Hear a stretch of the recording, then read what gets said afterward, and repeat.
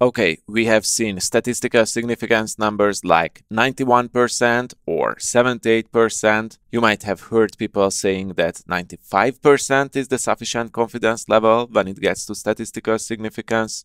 Some say the best practice is 90%, others say 99%. But what's the truth? What is good enough? What is too low? What is too high? For that, you will have to understand first what does 80% confidence level mean? What does 95% mean? What does 99% mean? And what does 100%? To answer these questions, first let me show you another concept that you might remember from high school statistics lectures. That's the concept of false positives and false negatives. The concept of false positives and false negatives is commonly used in another part of data science, in predictive analytics, where you try to predict the future. And if you think about it, when evaluating an A-B test result, you do a prediction as well. You try to predict the probability that the result of your test will repeat itself in the future. One of the best explanations I've heard about false positives and false negatives was in Dr. David Weisman's presentation, who took it from a science paper back from 1968. It's an everyday life situation. Let's say you are a husband, you go home, but you can't remember whether today is your anniversary or not. But you try to predict and decide whether you should bring flowers or not. Here are all the possible scenarios. It is your anniversary and you buy flowers, everyone's happy. This is a true positive. It is not your anniversary, but you buy flowers, but that's a false positive. Your losses are minimal, your wife gets suspicious, and you're shorter with $6.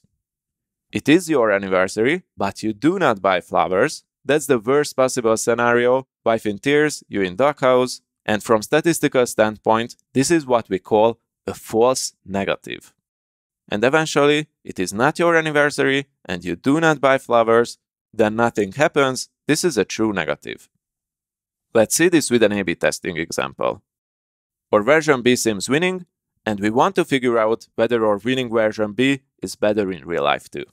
So the vertical part of the matrix is what we got as a result in our experiment, version B, or new version 1, or didn't win. We will compare that to what happens after the experiment. Version B indeed has a higher conversion rate, or it doesn't. If version B has won the A-B test, and then after publishing it, it keeps delivering better results, that's a true positive. Everyone's happy, you are the colleague of the month. If version B has won, but in real life it turns out that it doesn't bring better results, or it even brings worse results, that's a false positive. And for an online business, that's a disaster.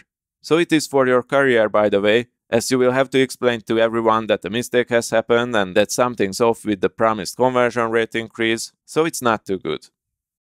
Version B didn't win on the test, but would have won in real life. That's a false negative, and that's not ideal either, because you lose money by not using the better converting new version, but usually since version B didn't win, that means that it wasn't published, so you never truly find out whether it was a false positive or not. And when B didn't win, and it wasn't better, that status quo, nothing happens. I hope you see the similarity between the two examples, but realize one more thing. In different situations, we optimize against different outcomes sometimes against false positives, sometimes against false negatives. In the anniversary example, we try to avoid the greatest disaster, false negative, not buying flowers on our anniversary. Buying flowers sometimes, when it's not our anniversary, is not the end of the world. Well, if we want to be realistic, sometimes it's a pretty nice thing. But a false negative, in this case, is a disaster. But in A-B tests, we always try to avoid false positives changing something that we are not certain of and is a winner only seemingly, and then delivering neutral or potentially worse results is a disaster.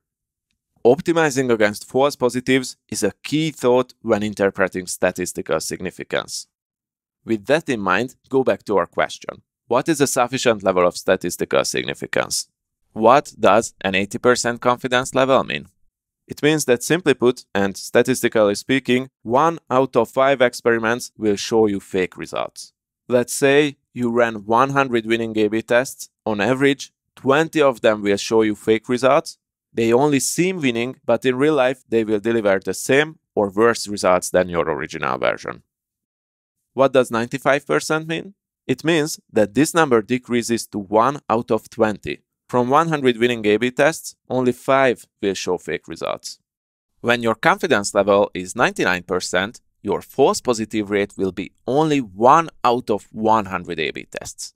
Many people don't really get this concept, but because in an A-B test we optimize against false positives, the difference between using 80% confidence levels and 99% confidence levels is not 19%.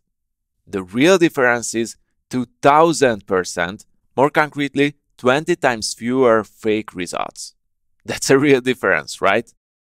With that said, choosing your sufficient level of statistical significance will be your decision. If your risk tolerance is higher, you can go with a lower confidence level number like 90%. If your risk tolerance is smaller, you can go with 95% or 99%. The scientifically accepted number that most people use is 95%. I personally always aim for 99%. But now that you know the real difference between these numbers, you can make up your own mind. And one last question what does 100% confidence level mean? In A B testing, it doesn't exist. Experimenting always contains some sort of uncertainty, and you can never be 100% certain that your results are true positives. But using the right level of statistical significance and the right confidence level targets, you can minimize this risk to be negligible.